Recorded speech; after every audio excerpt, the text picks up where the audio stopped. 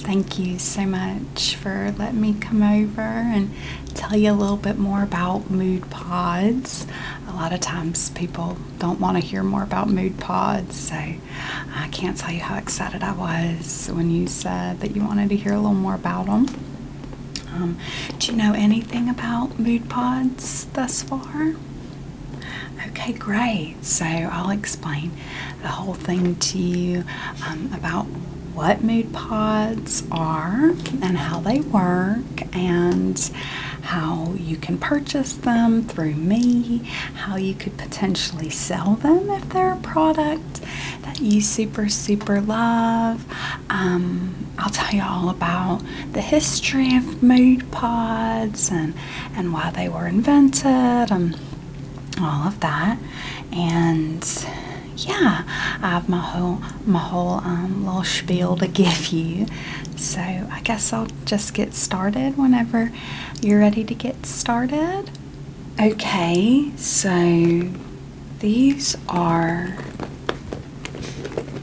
the mood pods, but I also have um, a binder to go through with you uh, that kind of talks all about mood pods and how they started and um, how they were invented and everything. But real quick, I'll just show you one of these. This is one of the mood pods. Um, this is the the funny mood pod and what it does is it releases the scent of herbs and ingredients and um, oils and such that are all mixed together in here. And the, in the perfect amounts and the scientific quantities of each of those things. And then if you push on it it releases the scent of those that blend of herbs that proprietary blend. And you feel that emotion. So, right now, I've been playing with this one and I'm starting to feel a little sillier um, because it, it does too that. It's the funny one. I'll show you the rest of these um, pods that I have in a second. But first, I thought we would go through the binder that I have, which is the materials and the information and everything about mood pods and, and what they are and how they got founded and, and everything like that. So we start on the first page of the binder, which is one of my favorite um, pages of the binder. It says Mood Pods, which is the name of the company, and then it has our beautiful logo.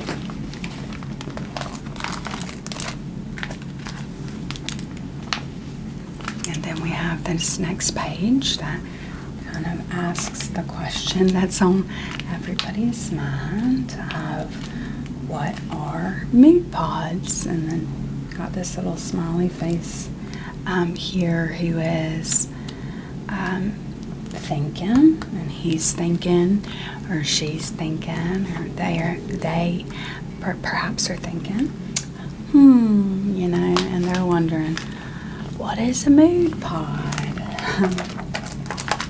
So, first and um, foremost, mood pods are a uh, revolutionary product. Um, they are um, innovative, they are an innovation, um, they are unlike anything that's ever been on the market before. These are our lovely um, founders.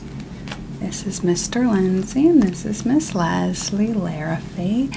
The Larrafees founded Mood Pods in 2012 and of course all of the people involved with Mood Pods are forever grateful to, to mom and dad um, for for making this incredible product.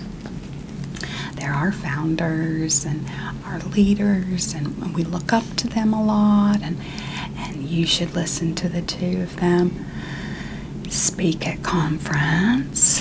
They just have such a way with words. They can make you feel so motivated and so energized. Um, they might even do a better job of changing your mood than mood pods do.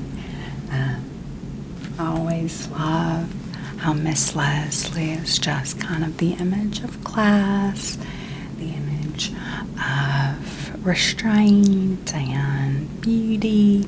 Um, she's just so pretty, and she gets up there and she talks, and you know, um, just the way she says things. She's just so classy. She goes to church. Um, she volunteers uh, for the foundation that they run, the Mood Pod Gives Back Foundation. She often volunteers for it. And then Mr. Lindsay is just kind of stoic and inspiring and that kind of thing where you just kind of look at him and feel inspired. Um, he dresses really nicely. Uh, he's got like a big voice, you know. He talks really slow and um, kind of quiet, so you have to listen. Uh, and he also goes to church, and they're just such a nice, beautiful couple, and they're so in love. Uh, they're always kissing um, on stage. And, um, holding hands everywhere they go. Okay. Leslie and Lindsay saw the need for mood pods and delivered. Um, I'm probably going to butcher this origin story, but uh, the story goes that um,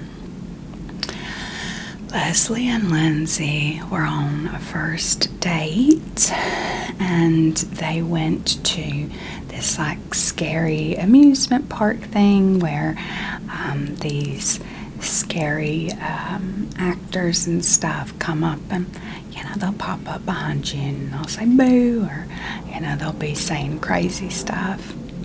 But anyways they were at this haunted attraction and um, Leslie, Miss Leslie, is such an inspiring woman, and she's kind of difficult to scare. And they were at this first date at this scary place, and and Mr. Lindsay wanted to just wrap his arms around um, Miss Leslie to comfort her, but she wasn't scared. And so they were talking, and they're like, What if I could just press a button and be scared and fix this date? And that's kind of the beginning of the idea for mood pods is what if I could just press a button and feel XYZ? And I just think that's so cool. So they definitely saw a gap in the market. Nobody was doing what Mood Pods was doing.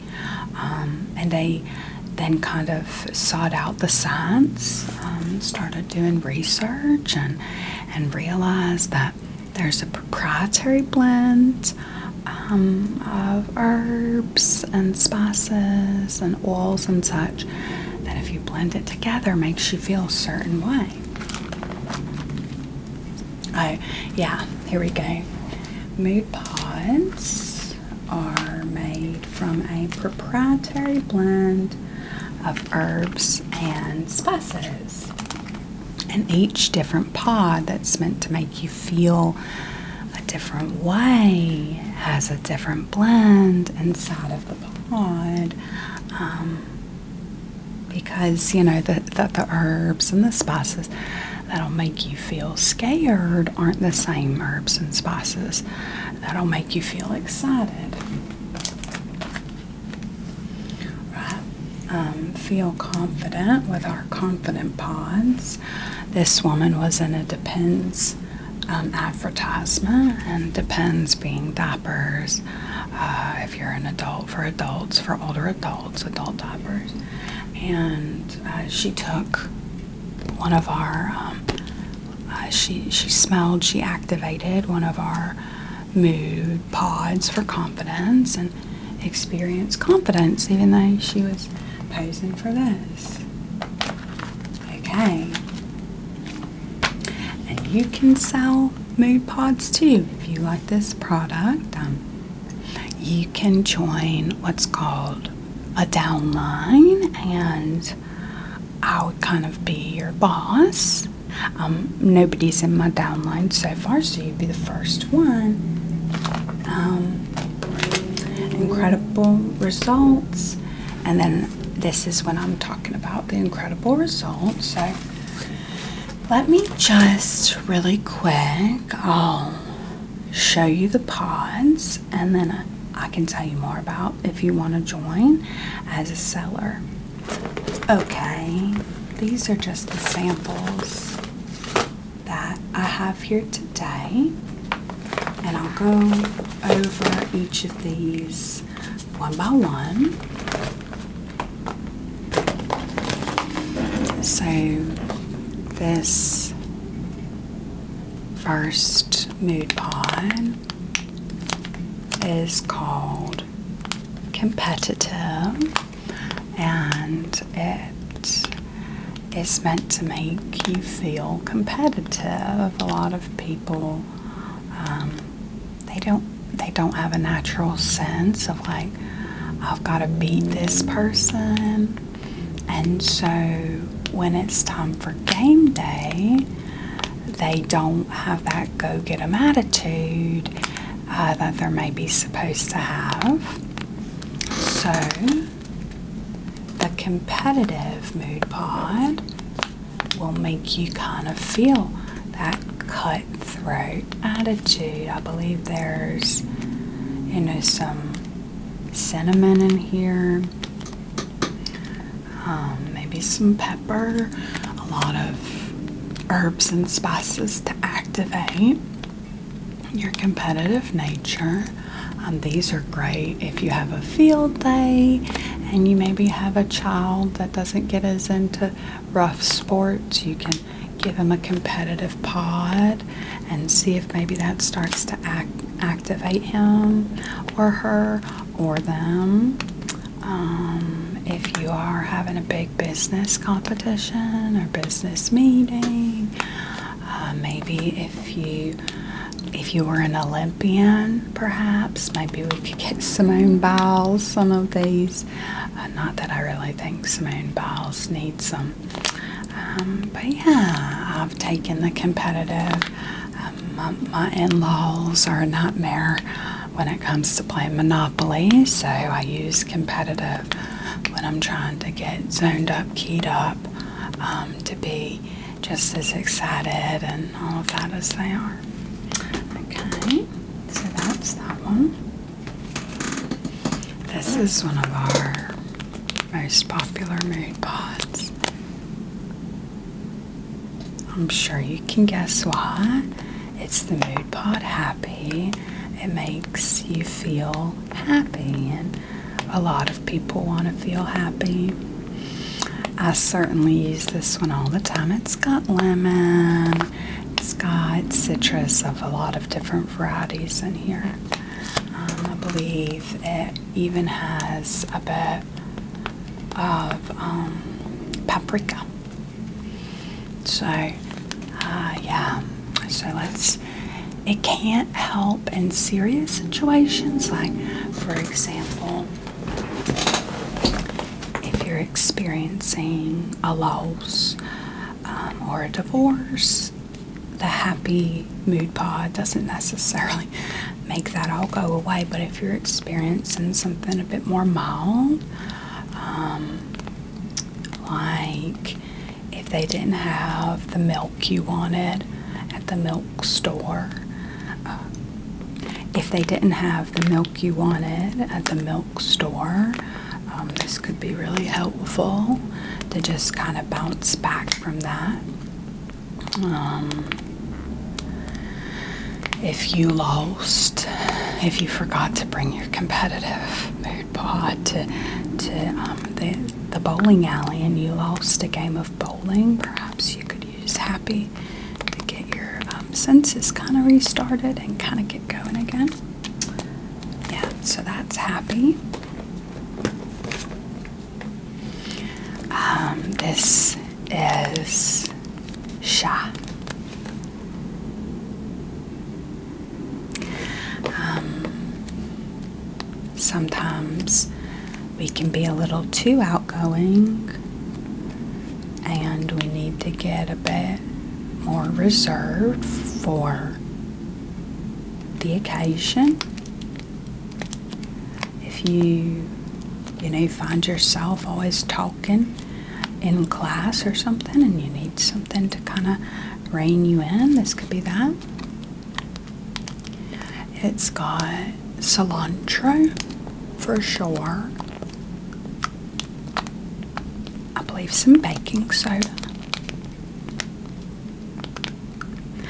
Um, I don't use this one too much because I'm already a little bit shy. I tend to use confidence more, but also if you happen to use confidence a little too much and you need to rein yourself in, uh, you can use some shy to kind of counteract that.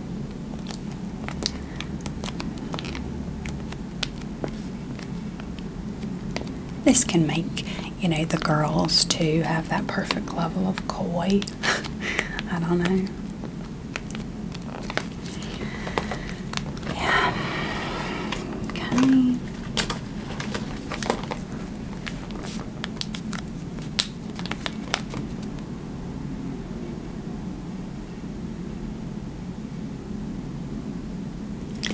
This is bored. Um, sometimes you can get a little overstimulated, you know. Uh, maybe you just went to Six Flags over Texas and you feel kind of, whoa. Bored can help you get back to like a state of kind of blah, like on Christmas. If you've had a big Christmas and you need to get back to like, okay, um, because you're so amped up. Sometimes people use bored for that.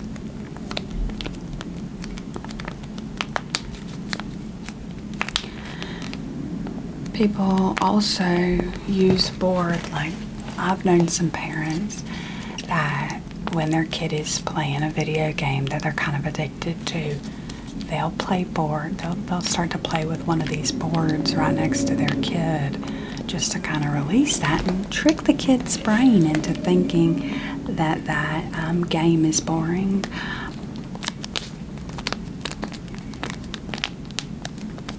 Okay. This is my husband's favorite.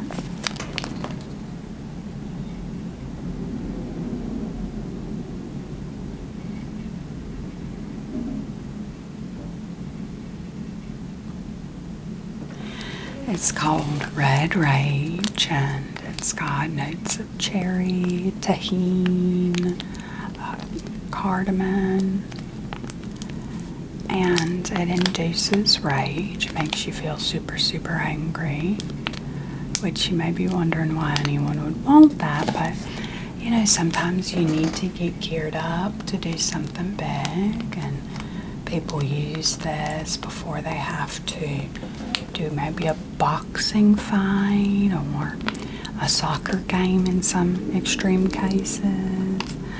Um, red rage can be used to get fired up for a debate. Um,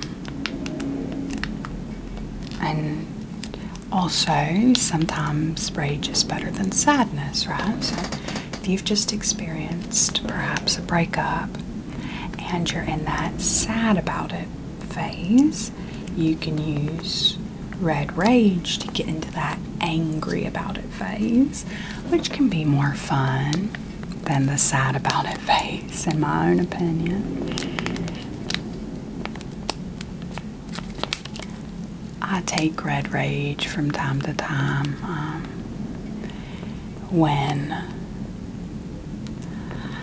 it's like a situation where I need to stop being sad, start getting angry to get stuff done. Um, there was a pothole outside of my house and I kept crying about it. But then I took Red Rage and I called my district and I got it fixed.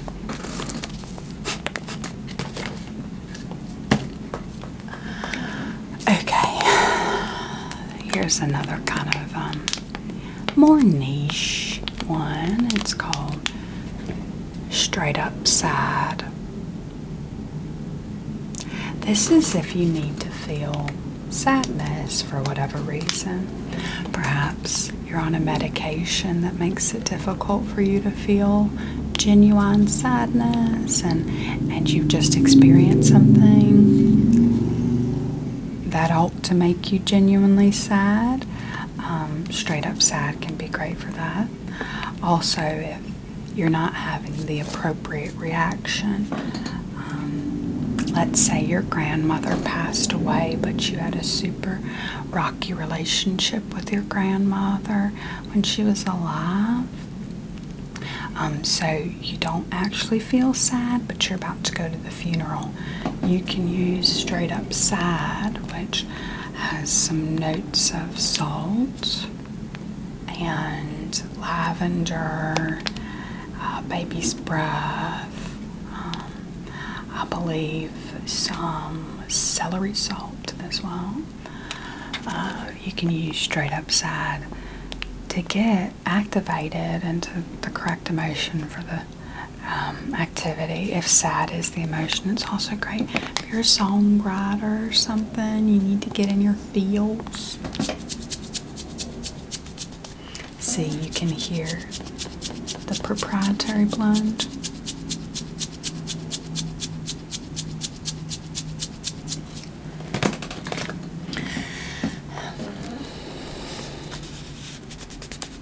This one's funny.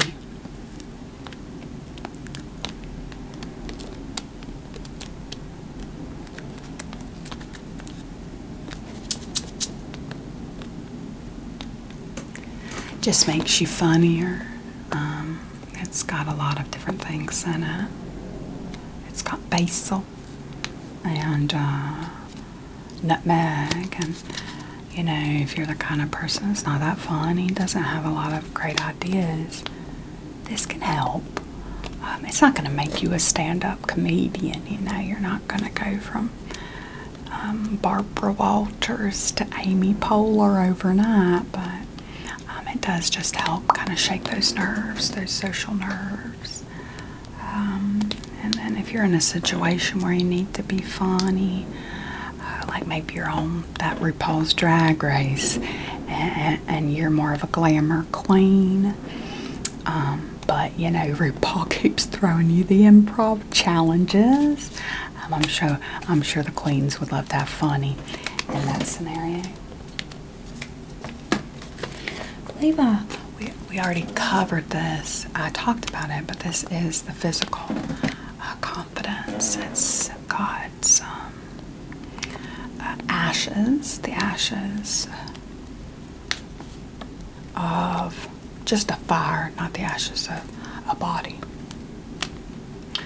And it's also got um, bay leaves, tea, just straight up tea in here, green tea, I believe. And it really is great if you're, you know, um, if you're going out doing something hard. Um, I, I, um, I'm not sure, but if I were the President of the United States, I'd definitely be using this one. Okay, I know that you said that you probably didn't want to sell anything, but um, I did want to briefly go over kind of the structure of the company.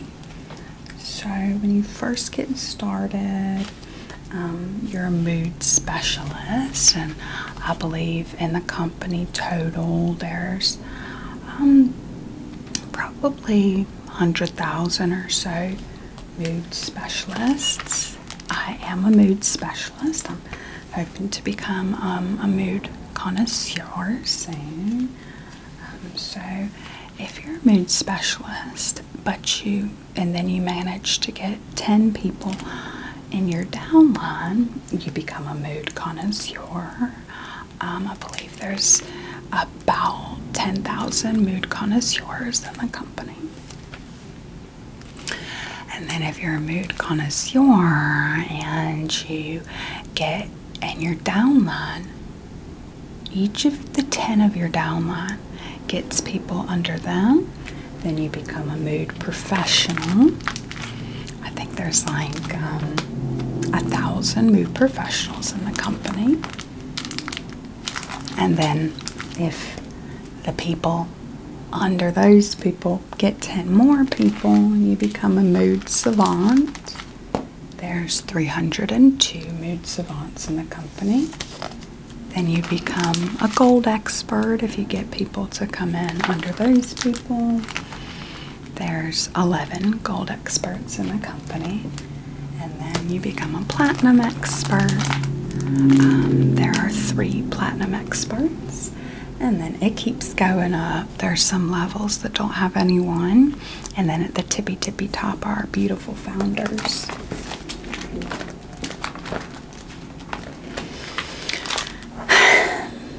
Mr. and Mrs.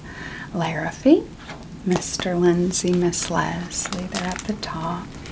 Really, the reason we do this is A, I've got a wonderful product that I'm selling. Um, I haven't sold any yet, uh, but I'm, I'm, hoping you're the first, maybe. Um, so we get to sell this incredible product and just look at the way that um, Mr. and Mrs. Larrafee are living.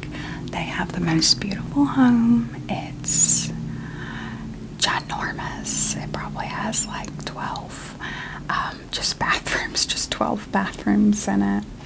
Um, and they have so many cars, and uh, they had a private um, viewing of uh, Beyonce's concert. Um, they paid her, I think it, they said, yeah, that they paid her 30 million to uh, to do a private concert, and I think that's that's what everybody wants, right? We all want to have a private concert from Beyonce, and it's just hard, you know. It takes it takes good consistency. It takes good commitment. It takes hustling, and you know, some some days I'm not as good at hustling as other days, and it's really really tricky. And um, I've put a lot into the business. I think I've paid $15,000 so far on product. Um, they just keep coming out with revolutionary proprietary blends, and so I have to get my hands on them. But you're right, you know. Um, I'm thinking about stepping away for a bit. It's just really hard because I've already spent $15,000. But you're right that um, that maybe that would be good for me, you know, uh, just to get some clarity. I feel like maybe I've been a bit um, disconnected, um, a bit zoned out um, at my job, which uh, isn't good because I'm an emergency room nurse. Yeah, you've given me a lot, uh, a lot to think about. You know that that's a that's a lot of information. Because I had noticed that there were a lot more people at the bottom than the top, I kind of thought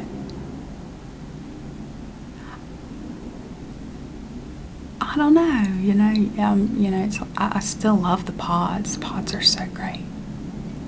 Um, but I hear what you're saying too. Yeah. I don't know.